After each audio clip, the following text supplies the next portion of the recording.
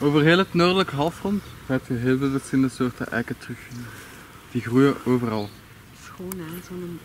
Op bij alle verschillende culturen in het noordelijk halfrond is dit, deze boom ooit wel teruggekomen als zijnde een voedselbron. Er zitten heel veel uh, zetmeel koolhydraten in die dat voor de revolutie van graan um, de staple crop was. Klein probleem daarin is, met die eikels, hetgene dat gebruikt wordt om meel mee te maken, is dat er heel veel looistoffen in zitten. Uh, die looistoffen heb ik geleerd in Iran.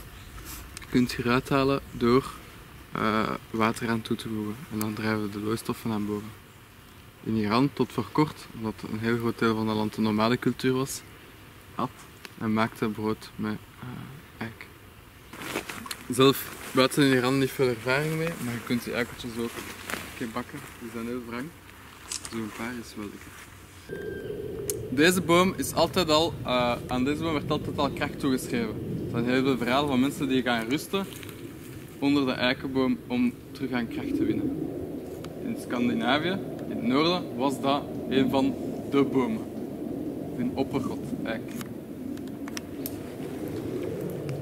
Marentak, dat ook in heel veel verhalen terugkomt, waar ook heel veel eigenschappen aan worden toegeschreven, werd idealiter van deze boom geplukt. Met gouden sikkel. Maar daarin zitten dus, dat was niet fysiek, fysiek zitten daar heel veel uh, looistoffen in. En er zijn verhalen terug te vinden van Duitse kindjes die daarop knabbelden bij tandpijn bijvoorbeeld, omdat dat al uw, alles gaat, uw bacteriën naar buiten duwen en uh, uh, de bloedgasstelpen en zo. Of de blaadjes dan. Of de blaadjes. Ja. De twijgen zitten meer looistoffen in. Jonge twijgen. Oude twijgen of op de schors is niet interessant. Dat is veel te houtig.